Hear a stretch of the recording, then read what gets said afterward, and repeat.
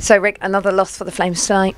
Yeah, uh, it's not looking good at the moment. Uh, puck doesn't seem to be bouncing for us. Uh, every time it's a 50-50 seems to go the other way. But the only thing we can do is keep digging deep and hopefully come up with the goods tomorrow.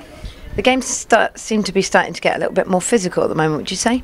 Yeah, I think uh, the first couple of weeks of the season, you know, we had great passing, great movement, and it was all kind of flowing for us. And then it just slowly turned around. So we're trying to get back to basics now and and play a bit more of a physical game. And we knew it was going to be a battle with Manchester. You know, every time we play them, it's it's a really tough game. So we thought if we got physical with them, then you know it gives a little bit of an edge. But didn't quite work out that way tonight.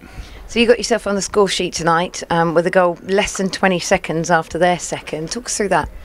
Uh, just got shot in. It was a bit of a bouncing puck. I took my chance and went to the net.